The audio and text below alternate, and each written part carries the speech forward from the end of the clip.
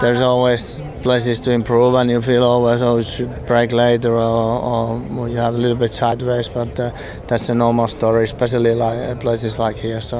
Uh, uh, it was good enough for pole position, so that, that's the main thing. And uh, car, car was working quite well in, uh, in qualifying, especially from Q2 onwards, and uh, you know, no complaints.